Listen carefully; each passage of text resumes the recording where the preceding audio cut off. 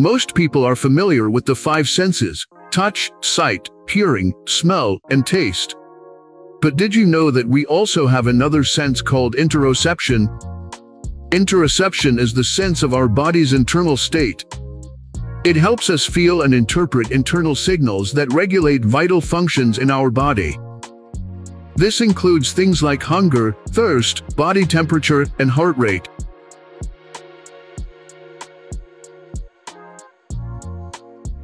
While we may not pay much attention to it, interoception is crucial for ensuring that all systems in our body are working optimally.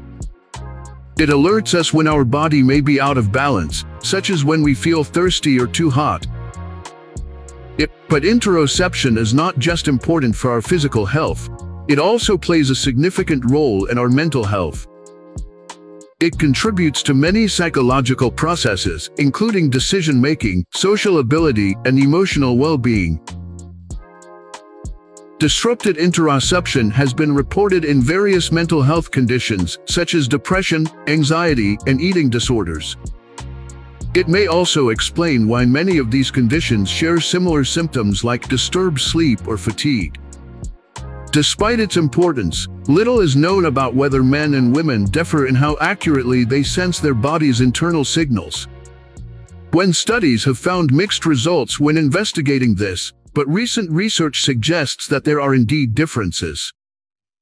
In a comprehensive analysis of data from 93 studies, it was found that women are significantly less accurate at heart-focused tasks compared to men, these differences do not seem to be explained by other factors like physiological differences or effort during the tasks. Understanding these differences in interoception between men and women is crucial for improving our understanding of mental and physical health disparities. It may also help in developing better treatments for common mental health conditions. While research in this area is ongoing, it is clear that interoception plays a crucial role in overall well-being.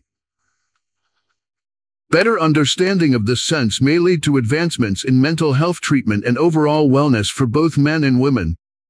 The differences in interoception between men and women could have far-reaching implications for mental health research and treatment. As we continue to explore this topic, we may uncover new insights that could help address the prevalence of mental health conditions in different populations. Also stay tuned for more updates on the fascinating world of interoception and its impact on our health and well-being. Thank you for watching, and don't forget to like and subscribe for more content on psychology and mental health. This is signing off.